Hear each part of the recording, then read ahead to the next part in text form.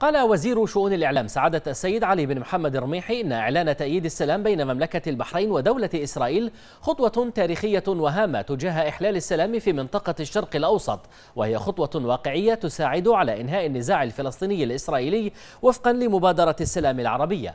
وشدد الوزير على موقف مملكة البحرين الثابت والدائم تجاه حقوق الشعب الفلسطيني الشقيق والتي تأتي في صدارة أولوياتها ضرورة حصوله على كامل حقوقه المشروعة.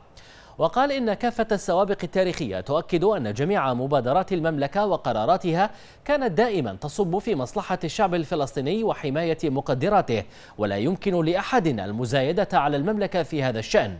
مبينا أن إقامة توقيع البحرين لإعلان تأييد السلام مع إسرائيل تمثل إحدى الجهود الدولية للمملكة لنشر ثقافة السلام والتعايش السلمي في العالم. وبين الرميحي أن المملكة تلقت دعوة من الرئيس الأمريكي للمشاركة في مراسم التوقيع على اتفاقية السلام بين دولة الإمارات العربية المتحدة ودولة إسرائيل في الخامس عشر من سبتمبر الجاري في البيت الأبيض.